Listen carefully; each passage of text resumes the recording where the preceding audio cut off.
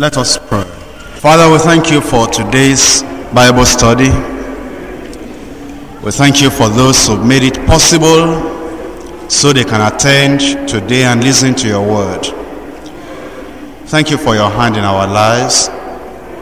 Thank you for your interest in us. Thank you for what the Spirit of God has been doing through the scriptures to make us what we ought to be. We pray that today you will speak to us and meet our needs in Jesus' name. We thank you because we know you have answered. In Jesus' name we pray. We have already seen how the Lord called Barnabas and Saul. They were having a prayer meeting in the church and the whole body met together while they were waiting upon the Lord praying and fasting. And it was in the midst of that worshiping and praying that the Holy Spirit spoke out. Separate unto me Barnabas and Saul for the work whereunto I have called them. This took place in Acts chapter 13. And in verse 2 we read, As they ministered to the Lord and fasted, the Holy Ghost said, Separate me Barnabas and Saul for the work whereunto I have called them. How many times the Lord has spoken to us while in worship? While we gather with the other be, uh, disciples and believers, and then the Lord will be speaking to us or speaking about us, and the Lord will be giving us definite directions for our lives. He did it in those days and he's still doing it today. Are revelations of truth revelations of directions of our lives that we never get when we're alone by ourselves. But as Barnabas and Saul came together with other children of God, and they were in fellowship, in communion, and they ministered unto the Lord, and they participated in the fasting, corporate fasting in the church. The Holy Ghost said, I have a work for you to do. And I want you to start it now. I want you to move a step further. Unto this work I have reserved for you. They responded. And then when they had fasted and prayed in verse 3, they laid their hands on them and sent them away. It's good for us to realize that we miss a lot when we miss the fellowship of the children of God. Deep revelations that God would like to reveal unto us about our lives, about the purpose of God for our lives, about the calling of God for us, and about an assignment he has for us. But we miss all these things because we miss the fellowship of the children of God. After they received the, the revelation, they remained within the fellowship because they needed the prayer and the support of faith of the children of God. After they had fasted and prayed, hands were laid upon them. And then he sent them away to carry out the divine special assignment the Lord had for them. Again, we notice another thing here. The revelation came while the children of God were fasting together. From the teaching and revelation of the Word of God on fasting in the Bible. There are things you will never know. There are things that will never be revealed unto you until you're able to wait upon the Lord in prayer and fasting. But you recognize the fact that even in praying, we pray more. Sometimes when we're in the midst of the children of God. Because the midst, in the midst of the children of God, there is an atmosphere of praise and worship, of prayer, communion with the Lord. The same thing with fasting. There are many times you want to fast on your own and you decide or determine, well, perhaps tomorrow, perhaps in two days' time, I'm going to wait upon the Lord, I'm going to fast.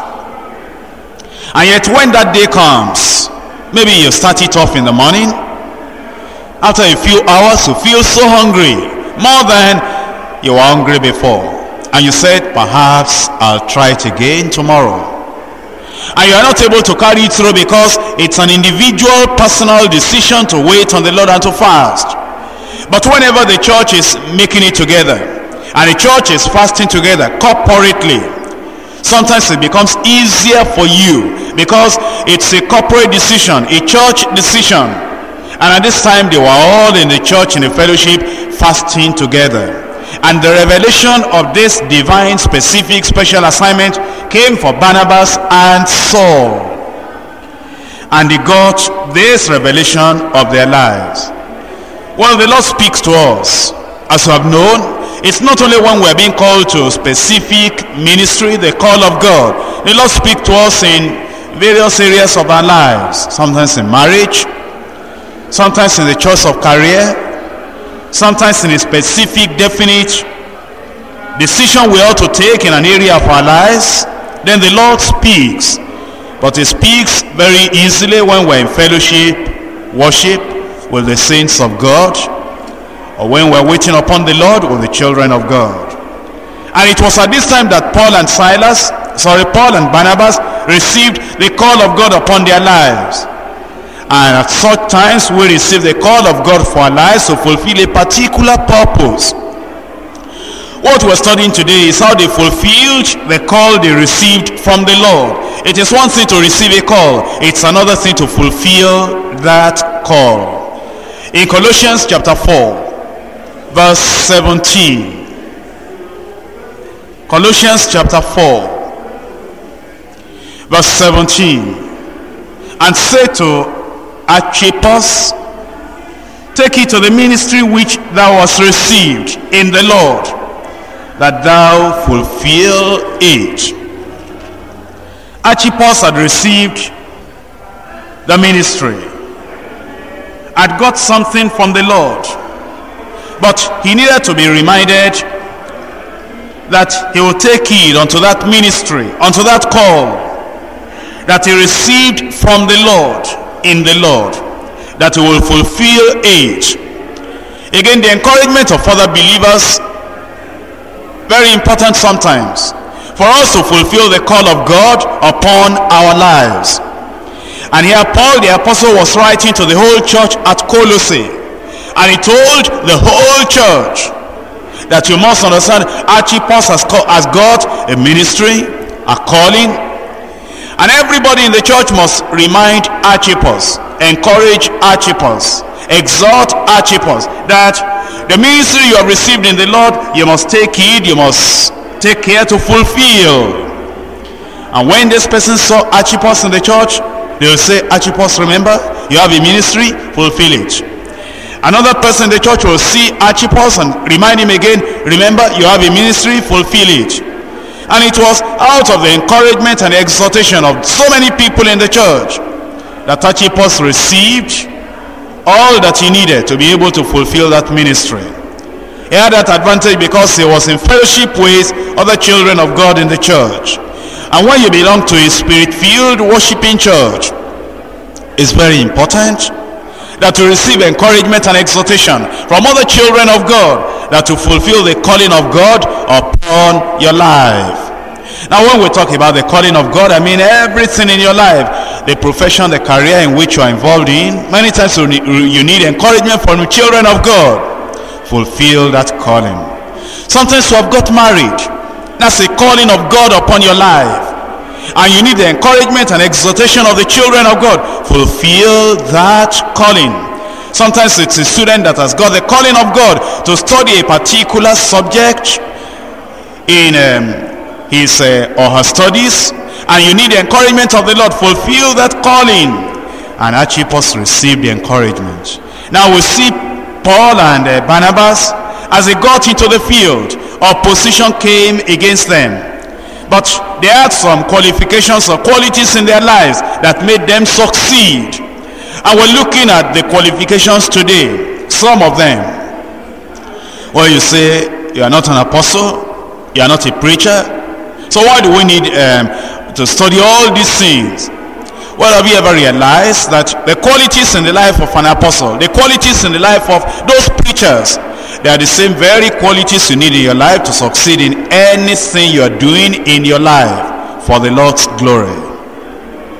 As you look at the professions in the lives of men and women, you realize that even though the professions are different, the callings are different, the things they're doing are different, yet the qualifications are the same all over. Take a doctor and take a farmer. The qualifications a doctor needs to make him succeed in being a doctor, they are exactly the qualifications a farmer will need to make that farmer succeed. The doctor will need an interest in the job he has picked up as a doctor. A farmer will need an interest in the job he has picked up as a farmer. Without maintaining interest, the farmer will not succeed. Without maintaining interest, the doctor will not succeed. Take the doctor. He needs to understand and study about uh, his profession, about the sicknesses, the diseases, about the needs of men on the area of healing. He needs to have a study and to brush up himself and to be up to date in, the, in his profession, medical profession. Take the farmer. The farmer needs knowledge. The knowledge on what to sow, when to sow, where to sow. Needs to study so much as the as a, doctor is studying about the sick people, the farmer needs to study about the soil. Needs knowledge. The same way the doctor needs knowledge. And you know sometimes the doctor needs courage when you bring a case on emergency. The, the doctor needs, a, you know, so much courage to be able to plow through. Needs a wisdom to be able to get through. You know the farmer needs courage when there is drought to keep on that job and still to have courage and confidence and say, well, I'm a farmer. I'm going to get this walk through and needs wisdom as well. Uh, you know the doctor needs uh, persistence Maybe sometimes he has, uh, you know, operated on people and he has failed. And he, he just says, I'm, not, I'm going to be a real qualified doctor. I'm not going to let myself be discouraged, even though I've made some, you know, failures. You know, the farmer needs uh, persistence. Maybe he needs, um, you know, acres of land. And he's trying to get uh, land from people. You know, it's not easy to get land from people or get land from government or get land from villagers but the farmer needs the same persistence to plow through and to say I am going to just get something done if he doesn't have persistence instead of sowing on an acre of land or hundreds of acres of land he's just going to be satisfied with a plot of land to sow in so you see whatever profession in which we are you know we need to really get this all these qualifications and uh, all these things done. Well you say i'm not a farmer i'm not a doctor i'm not an engineer i'm not a professional man i'm just a housewife. What important job you have on your hand and you know that all that the doctor needs to succeed in his profession as doctor, you need all those qualifications to be able to succeed as a housewife. Eh, you need the knowledge about men, how men react. You need to study about your husband. Read about your husband. Read about men to see how men think, how men react. As much as the doctor needs knowledge about the sick people, you need knowledge about men to be able to succeed in that marriage.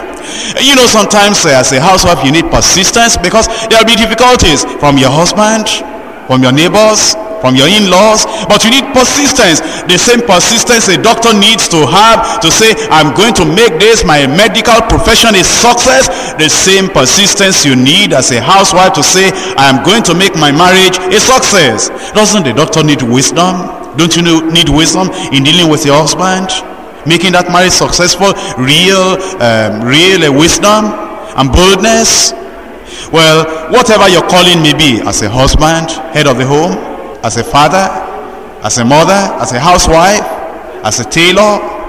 Oh you need all these same qualities and qualifications. As a tailor you know sometimes if you do not have the persistence the union of uh, tailors all around you they are going to say because you are not in the union because you are not paying your dues they are not going to allow you to succeed. But you need all these qualifications. That's why we're looking at these qualifications in the lives and the ministries of Barnabas and Saul they were successful in the work. And already you've seen that they had a calling. You have a calling. Your profession might be your calling. You might be a zonal leader.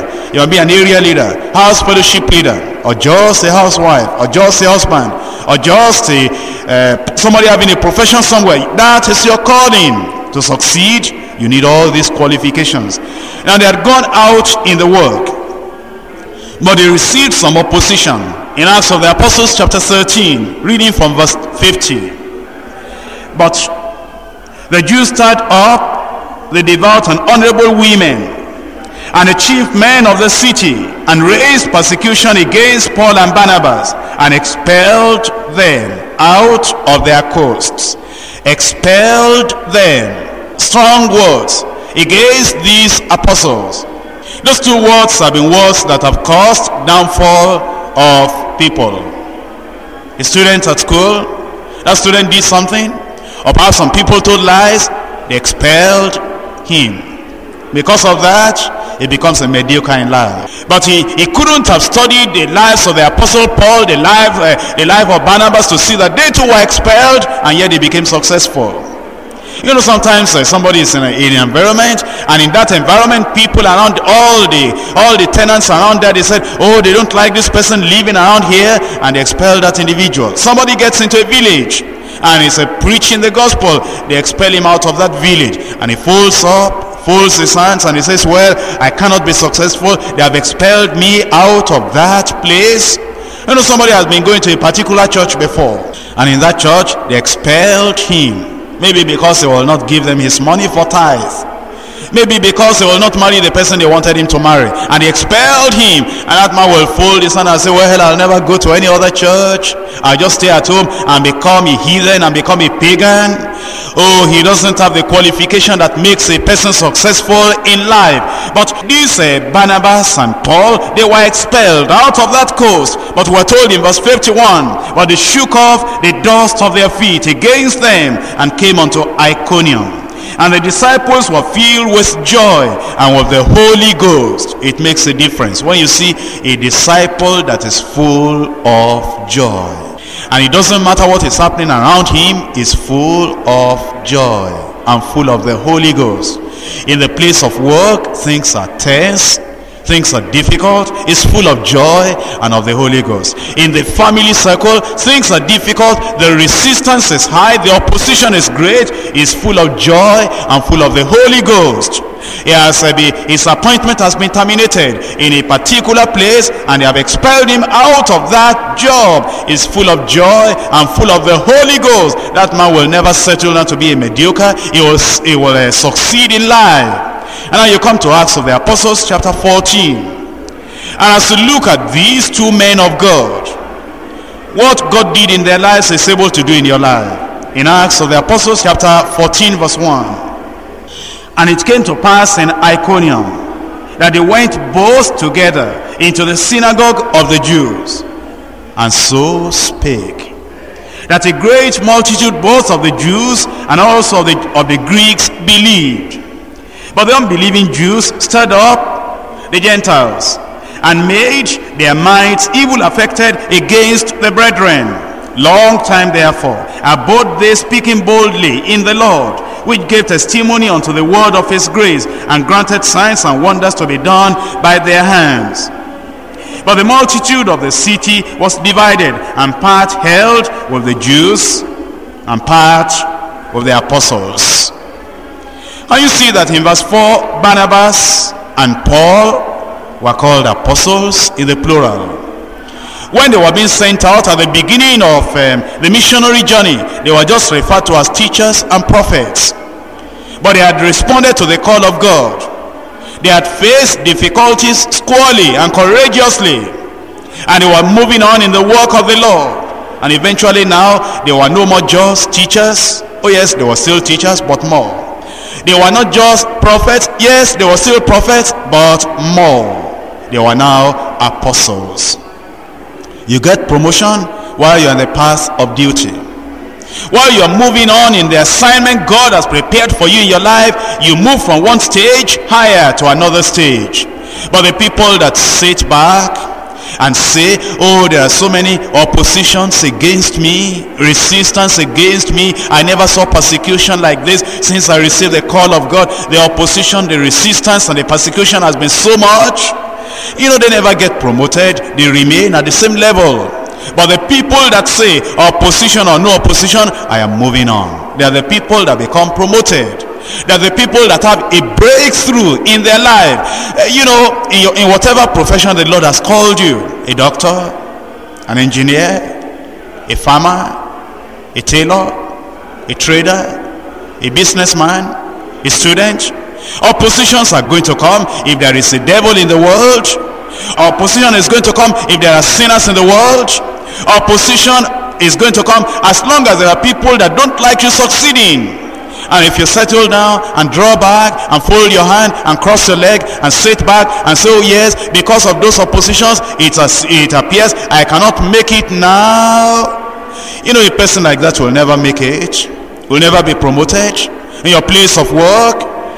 The co-workers are not going to say, well, you've come to this place of work.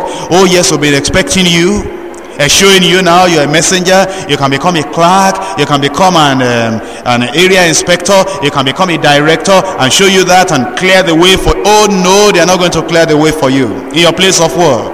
They're going to bring hurdles and hindrances in the way.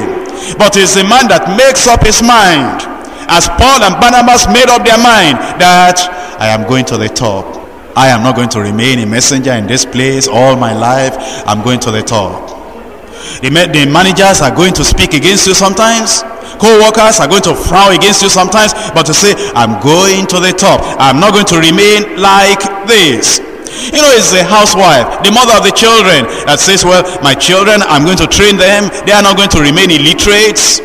They're, I just finished only secondary school in my life, but my children, they're going to get to secondary school, they're going to get to technical school, they're going to get to university. The opposition will come. Sometimes no money to educate the children. But you say, well, money or no money, I'm going to educate these children.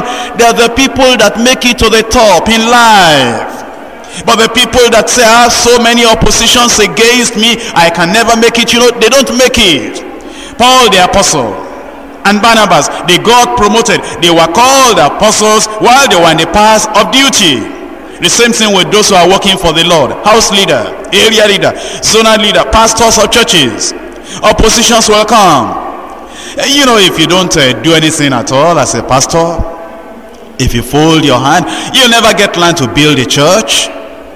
If you fold your hand, you'll never get members to attend your church. But when they're speaking against your church, when they're really opposing you, and you say, oh, we're moving on. If you are just a teacher before you'll become a prophet. If you are just a prophet before, in no time you'll become an apostle because you are determined you are getting to the top. You're not going to be a mediocre sitting at the back bench of the church and saying, well, uh, the people will not allow us to preach. You're moving on. That's what Paul and Barnabas, that's what they did. And in your life, never settle down at the lower part of the ladder. Keep on climbing. Keep on climbing. Part of the way you'll become tired, but keep on climbing. Part of the way, there are people that do not want you to succeed and they'll tell you to your face, you are not going to make it, but keep on climbing. And by the grace of God, you'll come to the top in Jesus' name. And now in verse 1, it came to pass in Iconium that they went both together into the synagogue of the Jews. I told you before, everywhere Paul the apostle went, he went first to the synagogue. Now you know, it's one thing to receive the call of God. It's another thing to use wisdom, wisdom in carrying out the call of God. I'm teaching you like this because you have a call of God for your life. Anybody that comes out of the hand of God has a call of God upon his life. He may not know it. He has a call of God on his life. I didn't know the call of God upon my life until I, I reached, uh, you know, I passed the age of 20. I never knew the call of God. I just spent my life. I never prayed to God to show me the call of God upon my life. And you know, in your life, you may never be able to recognize the call of God upon your life. You may just think, I'm just a human being. But if God has created you, and he did, if God has saved you, and he's done that, there is a purpose of God for your life. Well, if you're a tailor, you can so do it that it will bring so much glory to God, and you can take that thing as a call of God upon your life. If you're an engineer, it, you may make a mark on history as an engineer and fulfill the call of God in that area. If you're a doctor, you can make a mark in medical profession that the medical profession will never, never forget you. Never forget you. You're not just there to, you know, go to the hospital in the morning and come back in the evening and be called on emergency and go in the night. You're not just there to just uh, be a doctor like everybody else. You have a call of God and there's something you do to fulfill that in your life and in this world fulfill that call of God. You know there are people that receive the call of God and they do not have the wisdom. Do you know that your marriage is a call of God? You know people that get married and they're just married like every other person is married. They don't realize now I have a call of God to fulfill in this marriage as a woman. I have a call of God to fulfill in this marriage as a man. And it takes wisdom. You know, every, the way that Paul the apostle went, he used wisdom in fulfilling the call of God. He went to the synagogue first. Why did he do that? Many, many reasons. Number one, I told you before, because the Jews already had the Old Testament, the Old Covenant, the Old, Old Testament scriptures. He knew that it was easy for him to reach out to these people and after that he could reach the Gentiles. It was easy to move them from the Old Covenant to the New Covenant. They had known about the Messiah, they were expecting the Messiah. Now the Messiah had come and died on the cross. And because they had known about the Messiah before, he would just introduce him to them. Jesus Christ, the Son of God, is the one you're expecting. But not only that. He knew that if he went to the Gentiles first, the Jews will never receive him again. Because the Jews were so arrogant religiously. And if he went to the Gentiles first, oh, they'll say, well, it's all right for the Gentile dogs. But he went to the Jews first. And if he went to the Gentiles after that, the Gentiles will not mind at all because they knew salvation is of the Jews. The oracles of God were given to the Jews. So it's all right going to the Jews first. The Jew first and after that the Gentiles. He used wisdom. Haven't you seen a doctor? Very, very good in the profession. But because he had no wisdom, he lost all patients. Haven't you seen an engineer? He's very, very good at the mechanical things, electrical things, electronic things, but no wisdom. He will not get any job. Haven't you seen a tailor before? Oh, can sew well, knows the job very, very well. But because of the lack of wisdom, he has no work to do. Haven't you seen a farmer getting land from the villagers?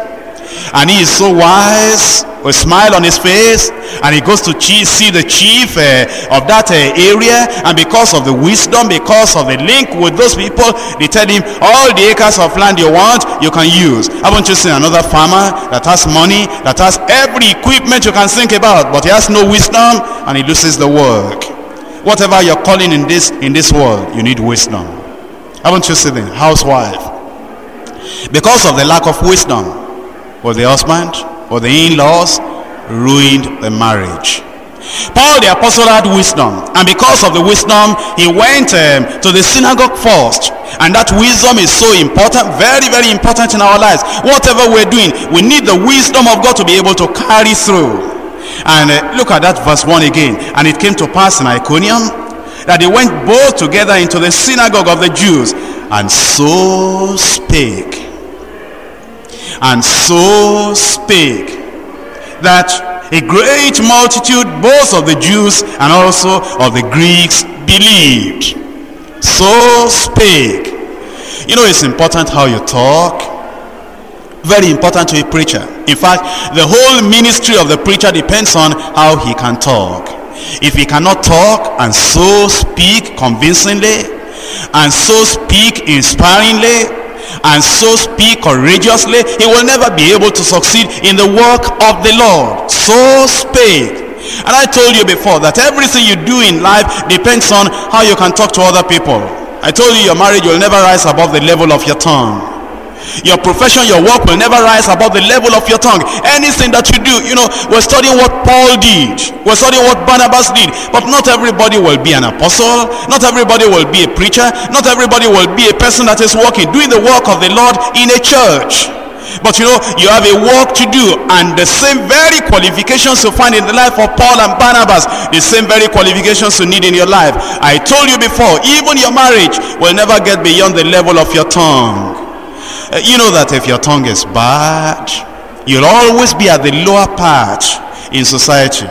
But if you can speak, not just, uh, not an orator, courageous words, encouraging words, wise words, words that other people will hear, they'll be convinced that God is alive. Everything will be going on well for you. He so spake that a multitude, great multitude, both of the Jews and also of the Greeks, believed. And we're told in verse 2, but the unbelieving Jews stirred up the Gentiles and made their minds evil affected against the brethren.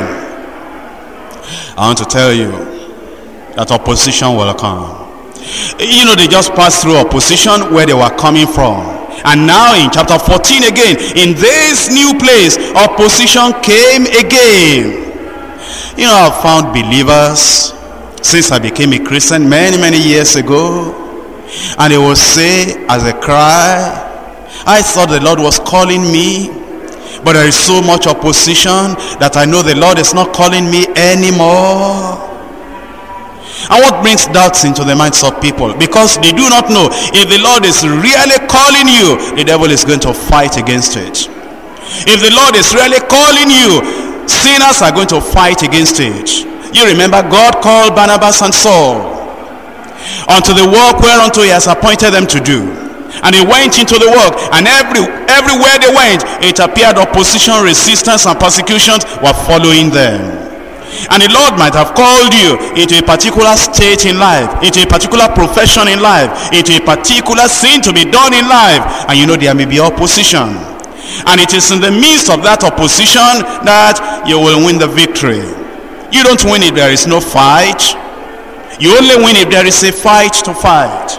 And Paul and uh, Barnabas, they recognize this. Even though the unbelieving Jews stirred up the Gentiles and made their minds evil affected against the brethren. Yet, yet they succeeded. And this is what has caused the downfall of many people. As preachers, as pastors. Oh, they said the opposition is too much. If God wants me to be a pastor, then there will be no opposition at all, either within the church or outside the church. Oh, haven't you read what Paul said? There are fightings without and fears within. And it's in the midst of the fightings and the fears that Paul the apostle, he succeeded and at last he said, I have fought the battle, I have won. Now a crown of righteousness is laid up for me, not for me only, but for all those that love the Lord. Whoever preached the gospel and there wasn't a fight. Think about Moses that received the call of God. And Moses went to Pharaoh and said, let my people go. And a fight started. Pharaoh said, who is that God? In the midst of that opposition, Moses succeeded. How about Joshua? All the gates and all the doors of Canaan, they were locked very, very strictly loved. And yet in the midst of that resistance, Joshua succeeded. You remember David? After he was anointed king over Israel, was there opposition? Oh yes, so much opposition that Saul was looking for him, chasing him all about to kill him or to destroy him. In the midst of all those oppositions, he succeeded. Have you read about Jeremiah, a prophet of the Lord? They locked him up. They put him in a dungeon. The word of the Lord was in his mouth and there was opposition, much more opposition than he ever got in his life before the calling of God upon his life. And yet he succeeded. Shadrach, Meshach and Abednego. How they were opposed in their stand. When they said they were not going to bow down and yet opposition came. In the midst of that opposition they succeeded. How about Jesus Christ our Lord and Savior? the very son of God, the only begotten of God. You better believe it. So much opposition in the midst of it all he succeeded. The apostles of the Lord Jesus Christ wait in Jerusalem until ye be endued with power from on high. And they had that power. The Holy Ghost came upon them. And yet, immediately after that, great, great, great opposition. You never saw opposition before. Great opposition. But in the midst of it, oh yes, they succeeded. And here we read about Paul and Barnabas, called of God, called of God. And there was opposition in your life, there will be opposition. Because even though God is on your side, Satan is against you. Unbelievers are against you. But thank God, your victory is sure. But as if you don't get away from the battlefield, if you don't, you know, fold your hand and sit back and get discouraged and say, well, I didn't know the fire would be as hot as this. Oh yes, fire is always hot. I didn't know the opposition would be as terrible as this. Opposition is always terrible, coming from any direction. If you will not sit back and lie down and say, I cannot do anything. If you rise up and say, God has called me into this uh, life I'm living. God has called me to this profession I have. God has called me to the work of the church I'm involved in. And God has called me to this family the, one, the Lord wants me to raise up. And even though the opposition, the problem is there, I'm going to succeed. You are going to succeed in Jesus' name. And so in the midst of that opposition, look at verse 3. long time therefore abode they, speaking boldly in the Lord. Therefore, therefore, what does that mean? That means because of what we have read in verse 2. Therefore, Paul and Barnabas made up their minds as never before that they were going to do it. And that's what Christianity is all about. When you try to witness, oh, they're going to ridicule you. When you talk about Jesus to your neighbors, but because of that ridicule, you said, even because of that, I'm going to witness more. Therefore, you know, in village work and village outreach, you go to the village, you want to preach the gospel of the Lord Jesus Christ. There is going to be opposition and resistance, but you make up your mind and say, therefore, just because of that opposition, I'm going to do the work more than I wanted to do it before. And in church work, area leader, zonal leader, house fellowship leader, uh, you know, I've seen some house fellowship leaders. Before they became house fellowship leaders, things were going on well for them. The devil never bothered them. No trial, no opposition, no persecution. Now the Lord has called them. They are now house fellowship leaders. And immediately they begin that work of the house fellowship leading you know, persecution starts, opposition starts. Oh, they say maybe the Lord did not call me into this house fellowship work because I did not see persecution like this before. I will just go back and not do the work of the Lord anymore. Oh, the devil has cheated you. But if you will say, therefore, long time I will continue the work of the house fellowship. That is how success comes. How success comes. And you know all the men of God you found in the Bible. When opposition rises up, they face it squarely. They challenge the devil and they challenge all the opposers. Long time therefore both they speaking boldly in the Lord. Because of those, the opposition that came against them, they now went to the work to do that work. And in anything in your life, brothers and sisters, settle it. Settle it. Be very sure of the call of God. Of the call of God. Now you, you don't hear people talking like this, preaching like this, because they think that the call of God is only related to full-time work. And so when they read the Bible about the call of God, oh yes, they are thinking about full-time work. Not everybody will be in full-time service. And then when they read about the call of God, they are thinking of just the uh, missionary work. And if you're not in missionary work, you don't think about the call of God at all. But every believer has the call of God upon his life. It may just be that marriage, I've told you. That's the call of God. Opposition will come. Make up your mind. This is my calling. The Lord showed me his will and I'm going to make it a success. Whatever you are doing, whatever you are laying your hand upon, settle it with the Lord. If the Lord has called you into it, then be bold about it.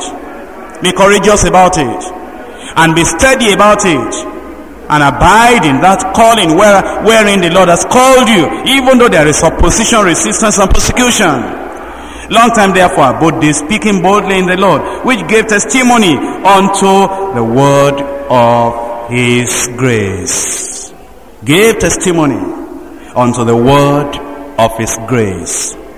We have read so much in the Bible that anything you lay your hand upon, the Lord will prosper you. Yet many times you have seen that there are many children of God that uh, uh, they do the work but then they have not seen the prosperity of the Lord. Uh, you know what happens? They allow the preachers to pray more than they pray. The preacher has a calling of God. The professional man has a calling of God. And the preacher knows that if he's going to do this work of God successfully, he must stand to it. He must resist opposition and stand firm. But the man in the profession does not know that. That like the preacher has to be firm, he too has to be firm in his profession. The preacher knows if I don't have the wisdom of God, I will not be able to get the church work going. But the man in the profession does not know that. That I need the wisdom of God as well. Now the preacher knows that have to be bold for the truth in this calling of God as a preacher. But the man in his profession, in his business, does not know how to be bold in the work that I'm doing where God has called me. And therefore because the preacher is going to get all these qualities and qualifications. You know, everybody is thinking about all these qualifications when they are called into preaching service, into the worship of the Lord to lead the worship and to lead the church worship. But you know, in your own career, you need all these things as well to make a success in life. Because they are bold in that place and they spoke boldly to carry out the work of the Lord. The Lord gave approval, testimony unto the word of his grace. And granted signs and wonders to be done by their hands. Now the word, the word there, boldly, very, very important. Boldness is very important. In 1 Thessalonians chapter 2, I'm reading verse 1 and verse 2. For yourselves, brethren, know our entrance in unto you, that it was not in vain. But even after that, we had suffered before, and were shamefully entreated, as ye know, at Philippi. We were bold in our God to speak unto you the gospel of God with much contention and they were so convicted about what they were saying that they spoke it courageously and boldly. Boldness is very important in your calling in life. Whatever God has called you to do, boldness is very, very important. Very, very important. In any calling you find yourself as the Lord has called you. But there are four areas of boldness I want to talk to you about. One, there is natural boldness. That one, there's nothing you can do about it personally. If you are made that way, created that way, well, it's there. If you are not made that way, it's not there. You know, there are people that have natural courage, natural boldness. And right from childhood, they have been like that. They'll dare anything. They'll try anything. They'll experiment anything. They may not have enough knowledge. They may not have much wisdom, but they are bold, naturally bold. But I want to tell you, there is a stage that natural boldness will not carry you. You know, it will carry you to a particular stage and no further. As a man, as a woman. But you know, there is what is called Christian boldness. That just because you're a child of God, that boldness is in your life. Maybe before you were a Christian, before you became a Christian, you were weak, cowardly, fearful, timid. But now you're a child of God. A guilt has been rubbed off your life. The blood of Jesus has washed you whiter than snow. Guilt brings fear. Condemnation brings timidity. But then all the guilt and the condemnation has been taken away. And now you are a real child of God, righteous in the Lord. What are we told in Proverbs chapter 28 verse 1? Let's see it. Proverbs chapter 28 verse 1. The wicked flee when no man pursueth but the righteous are bold as a lion. When the Lord has made you righteous, when the Lord has cleansed all your sins away, then you have Christian boldness. In Acts of the Apostles chapter 4, verse 13. Now when they saw the boldness of Peter and John and perceived that they were unlearned and ignorant men, they marveled and they took knowledge of them that they had been with Jesus. They had been with Jesus. They were Christians. Therefore they were righteous. And because of that they had not just natural boldness now, they had Christian boldness. But you know sometimes, my brothers and sisters, there is a level that even Christian boldness will not carry you. You remember Peter? He had been born again. Because Jesus told the 70 disciples and what he told them was true of the 12 disciples as well. Rejoice not only because the spirits are subject unto you, but rejoice because your name is written in the book of life. They were born again. They had Christian boldness. And you could see the traces of that even in Peter when uh, Jesus Christ was alive. There were things he would do which he wouldn't do before he was born again. Things he would have done before he uh, before he even received the Holy Ghost just because he was a Christian. Doing it in line and in side by side with the Lord Jesus Christ. Christian boldness. But then there was a maid that came to him and said, uh, you are one of them. That's at the time Jesus was being was to be crucified. And he denied and he said, no, I am not one of them. Natural boldness could not carry him far. Christian boldness could not carry him farther. But then the day of Pentecost came and he received the Holy Ghost. And then he stood up on that day when people were amazed and he said, what is all this? And he stood up and he declared that this is the Holy Ghost promised by God through the prophet Joel. And then he pointed to them right in their faces and said, you crucified the Lord of glory, the Lord of life, the Prince of life. And he said, men and brethren, what shall we do? And he told them, repent and be baptized, every one of you in the name of Jesus, for the remission of sins, and ye shall receive the gift of the Holy Ghost, for the promises unto you and to your children, even as many as the Lord our God shall call. And with many other words he exhorted them, saying, save yourself from this untoward generation. And they gladly received this word, and they that gladly received that word were counted. There was 3,000 men. And he continued in the apostles' doctrine and in fellowship and in breaking of bread and prayers. Now you see, he had boldness, spirit giving boldness. Not just natural boldness, not just the Christian boldness, spirit giving boldness in his life. And you know it's the same thing that the Lord will do for us when we come to the Lord. You need boldness in your life. To be able to carry through the calling of God upon your life, you need boldness in your life. Eh, you know, in this church, without the boldness of the Lord, I want to tell you, I wasn't, uh, I didn't have natural boldness. That's one thing I never had when I was an unbeliever. I'll not dare anything. I mean something constructive. I will not uh, dare anything, uh, you know, constructive and, you know, wanting to be bold and aggressive and just do something positive and powerful. No, no. I was an introvert, reserved, quiet, except in a small group of just a small class somewhere in secondary school. But apart from that, outside, very, very quiet. But you know, after I became a Christian, I had Christian boldness. But even the Christian boldness could not carry me far. But thank God the day the Holy Ghost came and I was baptized in the Holy Ghost. And then I could imagine things and do things and, you know, get into things I would never have dared to do before. Thank God. Because, you know, when you are a pastor of a church, without the Spirit giving boldness, you'll not be able to really reach out and do what the Lord wants you to do. But there is something else. There is faith-inspired boldness. Uh, do you remember Elijah? The land had been in famine for three and a half years. At the end of it, God told him, go and show yourself to Ahab. And then he came out of where he had been and he showed himself on, he saw Obadiah and told Obadiah and said, now go and show your master that Elijah will see him face to face today. Obadiah said, what have I done? That you are sending me on an errand like this. Because as soon as I tell Ahab he is going to be searching for you. And if the spirit of the Lord will catch you away then I will lose my head. Because he'll be searching for you in all kingdoms and in all nations. And anywhere he, they said that you are not there he took an oath of them to tell him that uh, uh, to assure him that they didn't see you. And if I tell him and uh, you are caught away what will I do? He said no go and tell him. And eventually they met and Ahab said Oh, Elijah, you are the one that troubled Israel.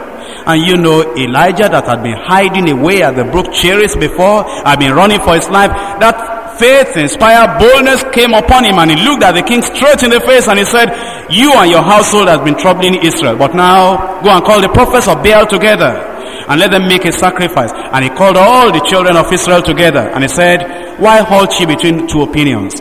If God be God, serve him. If Baal be God, serve him. And then he said, we'll put out a test. Let them take a bullock. Let them cut the bullock in pieces. Set it on, set it on the altar and let them pray to Baal. The God that answers by fire, that's the God the nation is going to serve. Oh yes, they said that's what we're going to do. And he prayed and he cried and he prophesied and there was no answer. At the evening sacrifice, at the time of the evening sacrifice, Elijah came around and said, get aside. And he called the people, he said, come near. Then he looked up after I had repaired the altar and I told them to put water uh, in the trench that was dug. And he said, oh God, let these people know that you have called me and turn their hearts, their minds back unto you. And the fire fell. And as the fire came, everybody bowed down and they said, the Lord is God, the Lord is God. And then he took the 450 uh, prophets of Baal and he destroyed them. Faith inspired boldness. Faith inspired boldness. Shadrach, Meshach and Abednego. Opposition came. Those people were not courageous people naturally. But you know, at the time that Nebuchadnezzar said, if I throw you in the fire, who will deliver you out of my hand? Well, they said, the Lord is able to deliver, but if He doesn't deliver, we're not going to serve your idol, O King. Faith inspired boldness. And this is what Paul had going for him. Well, if you studied about Paul, he had natural boldness, but then he also had Christian boldness, spirit-giving boldness, and also faith-inspired boldness. And when you have all this together, oh, it's a wonderful thing in your life what the Lord will do. Let's look at these uh, verses again. Remember, there was so much opposition. Next time when you have opposition, remember, the opposition cannot stop you from succeeding. If you allow all, if you have all the qualities in your life that the Lord is expecting in your life. It came to pass in Iconium that they went both together into the synagogue of the Jews and they so spake. They so spake that a great multitude, both of the Jews and also of the Greeks, believed.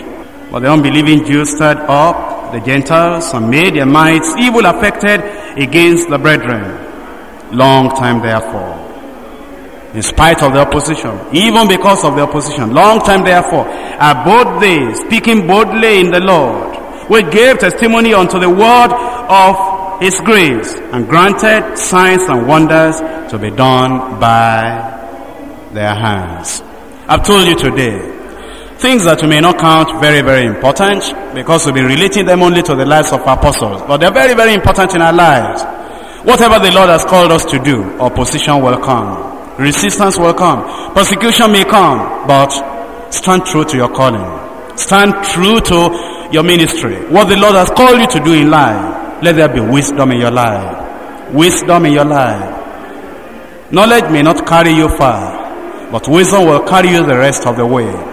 Then let there be boldness. If you don't have natural boldness, well, there's no regret. I didn't have that either. But you can have Christian boldness. That people will look at that boldness in your life and they'll know that you have been with the Lord. Then you can have spirit giving boldness when the Holy Ghost comes upon you when you are baptized in the Holy Ghost. And you can have faith inspired boldness.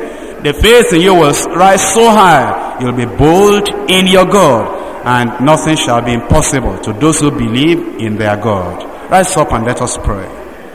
I've told you these qualities are needed in your life. Even if you're a tailor, you're working in an office, just a housewife, just a husband, just a doctor, just an engineer, or if you're a preacher, all these things are needed in your life. Resistance against opposition, standing firm when you are misunderstood, wisdom, persistence, boldness. They are needed in your life. And you make up your mind you are going to succeed in the calling of God upon your life. In the calling of God upon your life. Your marriage is part of your calling. Make up your mind you are going to succeed in it. Your profession, the work you are doing is part of your calling. Make up your mind you are going to succeed in it. And if you are called into full-time Christian service, oh, what a great, specific, special calling.